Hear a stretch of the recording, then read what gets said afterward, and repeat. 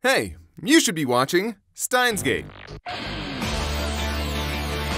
Hey, it's 2018 and everybody's talking about Steins Gate Zero, and if they're not, they might be part of the problem. The problem? They haven't watched Steins Gate, one of the best sci fi thrillers to ever grace the screens of Japanese television since Eden of the East. Serial Experiments Lain.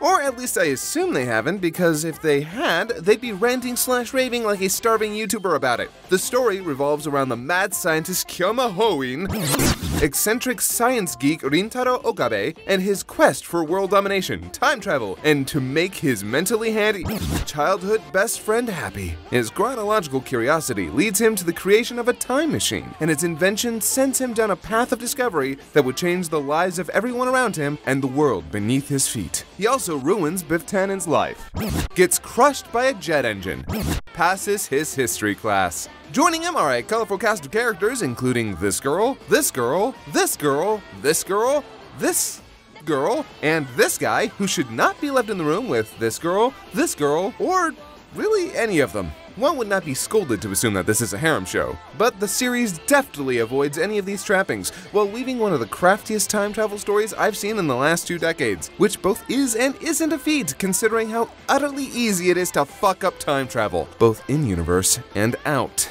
Looking at you, Men in Black 3. No, I'm not changing that. Men in Black 3 is the morning after a heavy Indian dinner. Its dub is also a shining star for Funimation, a gold standard from them to be sure. J. Michael Tatum leans a bit harder into the role of wannabe mad scientist than his Japanese counterpart as Rintaro, but this only serves to synergize even more wonderfully with Trina Nishimura's take on Kurisu. Meanwhile, Tyson Rinehart is the perfect balance of witty fanboy and insufferable otaku as Daru, and Ashly Burch You're too late!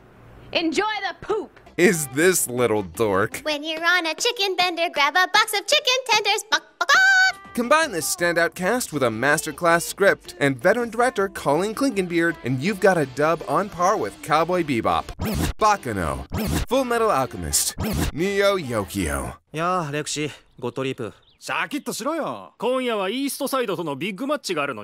There was also a series that technically preceded it called Chaos Head, but it's a black, festering mark on Madhouse's record. Pursue at your own risk. But Steins Gate is gripping. It keeps you guessing, it goes to town with its premise, and breaks your heart. It's one of my favorite shows, and while Steins Gate Zero isn't even halfway through its current season, it's shaping up to be a worthy successor. Uh, kind of weird my second You Should Be Watching was on a show from 2011. Y- you know what? Screw it. Let's try this again. hey, you should be watching Batman Ninja. Doot doo doo.